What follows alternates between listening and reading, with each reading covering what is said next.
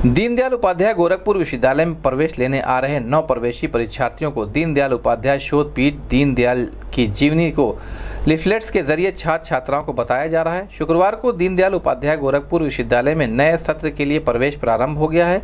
इसी के साथ विश्वविद्यालय परिसर में बने दीनदयाल उपाध्याय शोध पीठ के द्वारा छात्र छात्राओं को दीनदयाल उपाध्याय के संक्षिप्त जीवन परिचय से रूबरू कराने के लिए दीक्षा भवन में एक स्टार लगाकर लिफलेट्स के ज़रिए दीनदयाल उपाध्याय के बारे में बताया जा रहा है।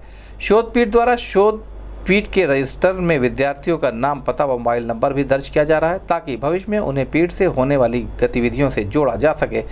इस मौके पर दीनदयाल उपाध्याय शोध पीठ के निदेशक डॉक्टर सजीत गुप्ता ने बताया कि लिफलेट्स पर दीनदयाल के जीवन परिचय, उनका व्यक्तित्व, एकात्म मानववाद दर्शन, आर्थिक लोकतंत्र चीति व विकास के लिए तय किए गए दीनदयाल के लक्ष्य आदि का विवरण है।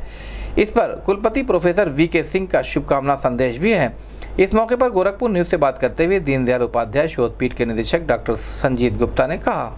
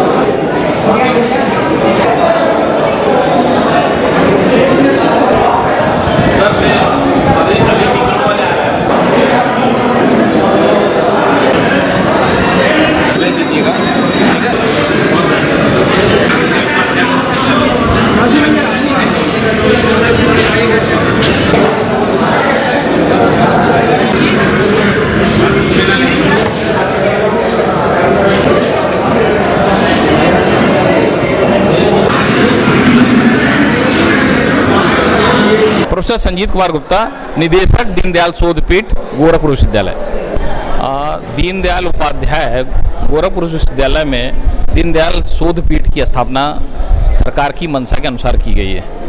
और जिसका उद्देश्य है कि दीनदयाल जी के विचारों को, जो कि एक बहुत ही महत्वपूर्ण विचार है। कारण ये है कि दीनदयाल जी मानव को केंद्र बिंदु मानकर और देश समाज में तमाम प्रकार के जो कह सकते हैं वंचित लोग हैं उनके लिए विचार रखते हैं। तो एकात्म मानव दर्शन उनका एक महत्वपूर्ण विचार है।